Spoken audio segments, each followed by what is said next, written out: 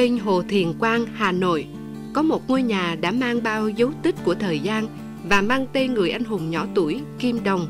đã đồng hành cùng tuổi thơ Việt Nam suốt hơn nửa thế kỷ. Đó là nhà xuất bản đầu tiên và lớn nhất dành cho thiếu nhi. Hơn nửa thế kỷ song hành cùng đất nước qua nhiều giai đoạn lịch sử, nhà xuất bản Kim Đồng luôn có một vị trí đặc biệt quan trọng trong đời sống tinh thần của các thế hệ tuổi thơ Việt Nam. Đây là nơi mở ra những cánh cửa tri thức và chắp cánh cho những ước mơ của tuổi thơ bay cao và là nơi ương mầm văn học tuổi thiếu nhi.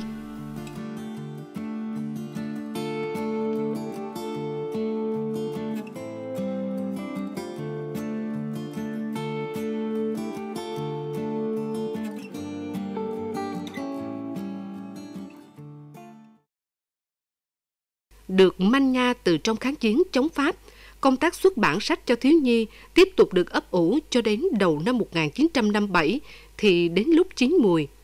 Vấn đề đặt ra là cần sớm có một nhà xuất bản sách cho thiếu nhi, đáp ứng nhu cầu của các em cũng như đòi hỏi của xã hội. Cùng với đó là những con người cụ thể, các nhà văn, nghệ sĩ, nhà giáo dục, tâm huyết với sự nghiệp bồi dưỡng tâm hồn, trí tuệ cho lứa tuổi thiếu nhi – Vậy là nhà xuất bản Kim Đồng ra đời vào ngày 17 tháng 6 năm 1957 với vị giám đốc đầu tiên là nhà văn Nguyễn Huy Tưởng và tổng biên tập Võ Quảng. Trải qua biết bao giai đoạn cách mạng, những biến thiên của lịch sử, thăng trầm của dân tộc, nhà xuất bản Kim Đồng luôn kiên trì một phương châm, tất cả nhằm phục vụ cho thiếu nhi, góp phần bồi dưỡng và đào tạo những thế hệ tương lai của đất nước – từ con số 8 quyển sách đầu tiên gồm văn học, khoa học, sách viết về đề tài sinh hoạt và truyền thống, sách truyện và sách tranh đều rất tươi vui, giàu hình ảnh, phù hợp với lứa tuổi thiếu niên nhi đồng. Đến nay, số đầu sách xuất bản và tái bản của nhà xuất bản Kim Đồng đã trở nên đồ sộ, đa dạng về đề tài, phong phú về nội dung và hấp dẫn về hình thức. À, đến nay năm 2020 này thì nhà xuất bản Kim Đồng đã tròn 63 tuổi. Là, là một chặng đường rất là dài. Nhưng mà um, có rất là nhiều sự thay đổi. Uh, sự gọi là mọi người nói là phát triển lên rất là nhiều. Từ 8 cuốn sách đầu tiên uh, thì bây giờ nhà xuất bản đã có đến hàng nghìn đầu sách. Tuy nhiên những cái mà um, có thể nói là những cái giá trị không thay đổi đấy là chúng tôi luôn uh, ờ, muốn đem đến cho các em những cuốn sách có giá trị tốt có giá trị chân thiện mỹ và mang đến cho em rất là sự phong phú về đề tài về thể loại để như mọi người thấy là sách cho thiếu nhi không không chỉ là dừng ở những câu chuyện ờ, nhỏ tuổi mà đã mở rộng ra cả sách văn học, sách khoa học, sách kiến thức um, bên cạnh đó thì cũng có những cái mảng sách tranh để giúp các em giải trí trong những giờ học Khối lượng đầu sách do nhà xuất bản Kim Đồng ấn hành mỗi năm một tăng mạnh với phạm vi và biên độ phục vụ bạn đọc ngày càng mở rộng. Một diện mạo phong phú vừa có dấu ấn riêng vừa không ngừng đổi mới của sách Kim Đồng đã góp một phần quan trọng trong bức tranh chung của nền mỹ thuật sách thiếu nhi Việt Nam – Cùng với đó là một đội ngũ cộng tác viên đông đảo là các nhà văn, nhà thơ, họa sĩ, các nhà khoa học và giáo dục, luôn hướng tâm tài về tuổi nhỏ, đã đồng hành cùng nhà xuất bản. Bên cạnh việc xuất bản sách và tạo không gian đọc, những con số biết nói về các hoạt động xã hội có sức lan tỏa và tác động cộng đồng. Những hoạt động hợp tác, giao lưu quốc tế không chỉ đóng khung ở việc giao dịch bản quyền mà thực sự đóng vai trò là cầu nối văn hóa giữa Việt Nam và thế giới. Suốt nhiều năm qua, nhà xuất bản Kim Đồng có nhiệm vụ tổ chức bản thảo, biên soạn, biên dịch, xuất bản và ấn hành các ấn phẩm với các nội dung giáo dục truyền thống dân tộc và cách mạng, giáo dục về đạo đức, lối sống, về tri thức và kỹ năng, bồi đắp trí tuệ và tâm hồn. Thông qua các thể loại văn học nghệ thuật, khoa học và kỹ thuật, Chính vì thế, vị trí của nhà xuất bản Kim Đồng trong lòng bạn đọc luôn được trân trọng hàng đầu. Ừ, chúng tôi cảm thấy rất là may mắn bởi vì là nhà xuất bản Kim Đồng đã có được những một cái nền tảng văn học rất là vững chắc và điều đấy phản ánh là chúng ta đã có được một loạt các cái tác phẩm mà bao nhiêu thế hệ nay đều đều đọc. Trong đấy có quê nội của võ quảng thơ ai dậy sớm hay là chuyện đồng thoại võ quảng bên cạnh những đất rừng phương nam giấy mèn phiêu lưu ký uh, trường đất nung vân vân. Uh, điều đấy cho thấy là những tác phẩm mà có giá trị thì luôn luôn được đón nhận luôn luôn được bạn đọc thế hệ này tiếp nối thế hệ khác trong hàng trăm hàng ngàn đầu sách xuất bản theo từng giai đoạn thời gian sách về văn học dành cho thiếu nhi chiếm một vị trí quan trọng của nhà xuất bản từ tập sách đầu tiên mang tên Lớp học của anh bồ câu trắng của nhà văn Thi Ngọc ra đời năm 1957 với giọng văn mượt mà và trong sáng, đã mang đến cho bạn đọc nhỏ tuổi những câu chuyện và bài học làm người giản dị mà sâu sắc. Cho đến những tác phẩm văn học thiếu nhi lớn sau này đi kèm với các tên tuổi nhà văn lớn như Nguyễn Huy Tưởng, Võ Quảng, Tô Hoài, Phạm Hổ, Đoàn Giỏi, Duy Kháng, Nguyễn Thi, Nguyễn Bích, Trần Đăng Khoa, Nguyễn Minh Châu, Hà Ân, Xuân Thiều, Phong Thu, Sơn Tùng, Định Hải, Thanh Quế, Xuân Quỳnh, Vũ Tú Nam, vân vân đều đã mang lại cho tuổi thơ vô vàng cảm quan văn học, bồi đắp nên tình yêu văn chương, yêu quê hương đất nước, con người ở các vùng miền xứ sở trên đất nước Việt Nam. Nhiều nhà văn viết cho thiếu nhi khẳng định văn học thiếu nhi có một nhiệm vụ chính yếu, đó là giáo dục trẻ em trở thành người tốt. Văn học thiếu nhi phải tạo nên sức mạnh của cái đẹp của văn chương nghệ thuật. Sức mạnh ấy sẽ đánh thức trong các em tình cảm và ý nghĩ tốt đẹp, làm cho các em biết tôn trọng, yêu thương, thấy những nghĩa vụ cần làm, sống có tinh thần nhân ái. Từ ban đầu, các các cụ như là các nhà văn à, à, đoàn các nhà văn à, Nguyễn Huy Tưởng, Tô Hoài, Võ Quảng, Phạm Hồ, đoàn giỏi vân vân đã hình như đã xây dựng một cách đầy đủ những cái viên gạch đầu tiên cho sách kim đồng như là sách văn học thiếu nhi, thơ thiếu nhi, ờ, sách dịch, sách khoa học đều có đầy đủ hết.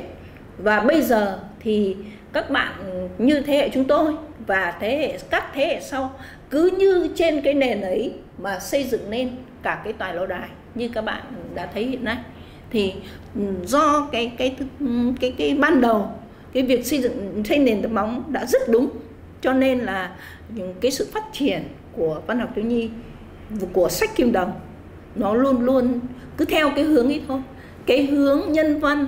và kể cả tranh truyện nhé, kể cả phần hội họa cũng cũng đã ban đầu đã có đầy đủ rồi và đặc biệt nhất là cái tính dân tộc cái chất Việt bản sắc Việt Nam trong văn trong văn học uh, của thời gian trước thì thì nó rất đậm đà rất rất sáng nét yeah trước hết phải nói về cái tính đối tượng. Thì là các em là những người mà uh, thích những câu chuyện và những cái ấn phẩm mà nó mang cái uh, màu sắc uh, nó ấn tượng và nó có cái sức truyền cảm lớn. Uh, chính vì vậy sách nhà xuất bản Kim Đồng luôn uh, được chú trọng về phần hình ảnh. Bởi vì uh, như chúng ta biết là ừ, trẻ con thì những cái hình ảnh trực quan luôn có một cái sức hấp dẫn rất là lớn. Vì vậy là từ hình ảnh ờ, vẽ minh họa, rồi cho đến hình ảnh ờ, chụp hay là ờ, tất cả các thiết kế về nhận diện cho cuốn sách thì sẽ được nhà xuất bản Kim Đồng rất là chú trọng. Và các họa sĩ cũng như là các đội ngũ thiết kế rất đầu tư về chăm chút về phần hình ảnh. Và nó có một cái sự hấp dẫn cũng như là Ờ, về màu sắc cũng như là tạo hình ờ, rất là, là cuốn hút. Và đặc biệt ấy, là sách nhà xuất bản Kim Đồng có một đặc thù là cái sử dụng uh, cái hình ảnh minh họa rất là nhiều và được các họa sĩ vẽ tay cũng như là thể vẽ trên máy. Uh, rất là nhiều đặc thù sách ở kim đồng như vậy. Thì cái lượng uh, giữa uh, lượng chữ và phần hình ảnh thì cái phần hình ảnh luôn luôn là chiếm được một cái uh, phần diện tích rất là nhiều và nó cũng là một trong những yếu tố mà sách nhà xuất bản kim đồng rất là hấp dẫn các em Suốt nhiều năm trôi qua, có một niềm tự hào không nhỏ là trên giá sách của nhà xuất bản Kim Đồng luôn có những cái tên ấn phẩm và tác giả là nhà văn xứ Quảng. Từ Võ Quảng, Thanh Quế của một thời, rồi đến Nguyễn Nhật Ánh, Bùi Tự Lực, Lê Trâm, Nguyễn Bá Hòa, Mạc Ly hay Nguyễn Tam Mỹ. Đa số các tác giả xứ Quảng này viết khá nhiều đề tài trong cuộc sống, viết cho người lớn, cho tuổi thanh niên, nhưng họ vẫn dành riêng cho các em tình cảm trân quý, tôn trọng và yêu thương.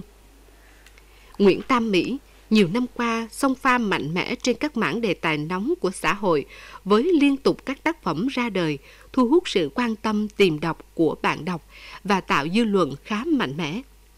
Tuy nhiên, trong tâm trí anh, tâm hồn anh vẫn dành cho thiếu nhi những trời yêu dấu. Đó có thể là ký ức của một thời tuổi thơ trong lửa đạn chiến tranh. Lê Trâm, Nguyễn Bá Hòa được biết nhiều đến lĩnh vực truyện ngắn viết cho người lớn về nhiều mảng đề tài phong phú của cuộc sống con người, của xã hội hiện đại. Nhưng tâm hồn vẫn cứ trong trẻo khi đặt bút viết cho thiếu nhi. Tôi có cái thích đó là có cái à, cảnh làng quê là có cái động vật chứ như vậy mà tôi hay nhìn những cái cảnh đó và tự nhiên tôi cũng là có những cái à, suy nghĩ để mình, mình viết về là cái mối quan hệ giữa là có cái động vật thân quen như chó như mèo như, như con vật nuôi như trâu bò với là cái như trẻ em và nó tạo nên là cái một cái mối quan hệ kháng khít giữa loài vật với lại thế giới con người với lại con người trong một cái thế giới hồn nhiên ở làng quê. Đó là cái tôi biết được là nhờ có là có cái thời gian là mình ở quê và lâm lũ cái quê và bây giờ đã được à, có cái điều kiện được về quê để mình nhìn lại trẻ em ở quê là cái như chơi đùa bằng những cái trò chơi giống như mình mấy chục năm về trước. Thực ra thì ai cũng biết là đọc sách thì nó rất là bổ ích đặc biệt đối với các em nhỏ. Nó à, tạo cho các em tâm hồn trong sáng. À, thì à, ai cũng mong muốn cái điều đó. Cho nên là sau khi mà tham gia viết những cái mẫn khác thì mình là trở về với văn học thiếu nhi. Vì mình nghĩ có cái đóng góp nhỏ nhỏ của mình đối với à, các em. Mong muốn rằng cái văn hóa đọc sẽ trở lại. À, bởi vì nếu như mà mà đi vào siêu thị á hiệu sách, thấy các em nó cũng bò lan nó nó đọc sách, nó cũng mê lắm. Như vậy là có một cái, một đối tượng thì rất là mê sách. Nhưng mà bên đó là một đối tượng thiếu nhi thì bây giờ cũng không đọc mà chỉ tham gia trò chơi rồi vân vân thì mình nghĩ là mình nên có người đóng góp thì mới quay trở lại với cái món văn học thiếu nhi sách viết cho thiếu nhi của các nhà văn xứ Quảng luôn mang giọng điệu riêng, màu sắc văn hóa rất riêng của một dải đất như chiếc đòn gánh giữa hai đầu đất nước, với cơ mang nào là đặc trưng văn hóa, cảnh sắc bản địa. Điều này cũng đã tạo nên dấu ấn riêng, mang tính vùng miền, đồng thời cũng hòa được vào dòng chảy chung của sách văn học thiếu nhi đương đại.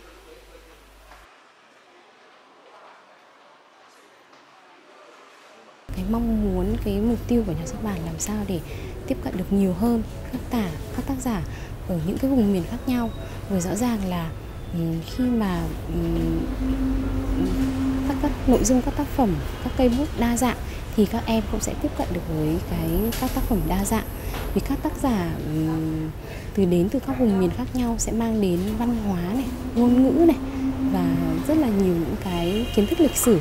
để cho bạn đọc. Ví dụ như tôi nói ở mảng sách của các tác giả Quảng Nam chẳng hạn thì các tác giả đã đưa vào rất là nhiều những câu chuyện uh, có thể là câu chuyện sinh hoạt đời thường câu chuyện của các bạn học sinh thì ở đâu cũng có nhưng đặt trong bối cảnh của uh, hội Hội An chẳng hạn hay đặt trong bối cảnh của uh,